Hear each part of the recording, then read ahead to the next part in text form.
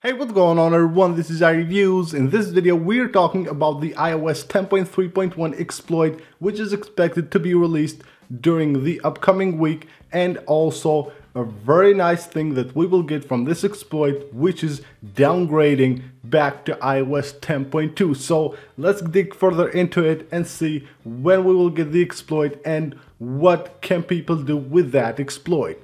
So the Hack in the Box conference will be held next week from August 21st, which is Monday, up to Friday. So the hacker that the security researcher that will, will release the exploit will have his speech, I believe, on Friday, which is the last day of this conference.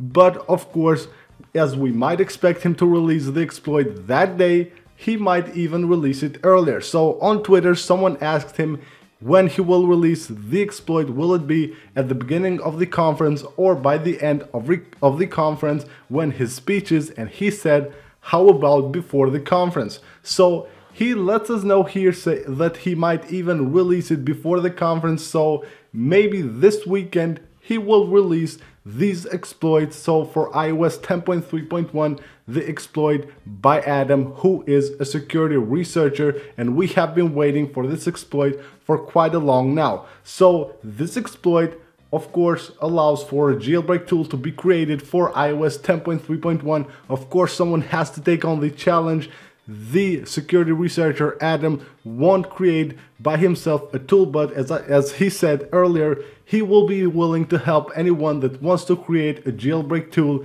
utilizing his exploit. So if a team of hackers or a team of devs takes on the challenge to, to create this jailbreak tool, he will help them to create it. Of course, creating a jailbreak tool from this exploit will at least take maybe a couple of weeks and Right now we are at the end of August and if someone tries to create a jailbreak tool, this maybe might be released during this first, by the end of the first week of September or during the second week of September. By that time, we will be very, very close to the release of iOS 11. So that's very bad. Of course, a lot of people will want to update to iOS 11 and won't jailbreak their device, won't be waiting for a jailbreak. So that's very bad. We wish we had this even earlier. But the good thing is that the exploit will be released. So in a week, we will probably have it. And let's see what else we can get using this exploit. So according to Luca Todesco, a kernel exploit alone is not enough to create a jailbreak. However, for those that have SHSH2 blobs saved, they can downgrade using the exploit. So if you have your SHSH2 blobs saved, then you will be able to go ahead and downgrade your device back to iOS 10.2 and then of course jailbreak it using YALU 10.2. So probably you have saved them if you have watched my videos or any of the videos of the other guys that upload videos about jailbreaking and stuff related to jailbreaking. Everyone it's all the time saying save your SHSH blobs. So if you have them saved using, utilizing this exploit that will be released, you will be able to downgrade back to 10.2. Of course, this exploit will work only on iOS 10.3.1 and lower. If you're on 10.3.2 then you're out of luck. So that's pretty much it for this video guys. Expect this exploit to be released very very soon.